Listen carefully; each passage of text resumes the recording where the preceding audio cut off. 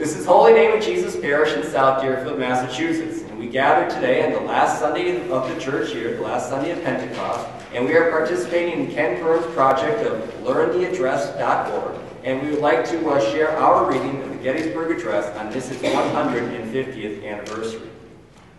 Four score and seven years ago, our fathers brought forth on this continent a new nation, conceived in liberty and dedicated to the proposition that all men are created equal. Now we are engaged in a great civil war, testing whether that nation or any nation so conceived and so dedicated can long endure. We are met on a great battlefield of that war. We have come to dedicate a portion of that field as a final resting place for those who their lives that this nation might live.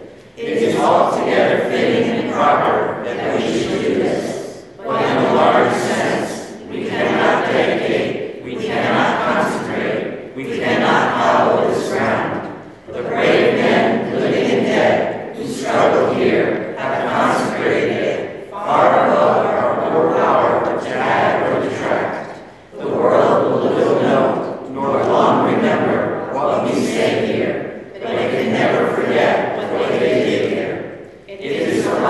here,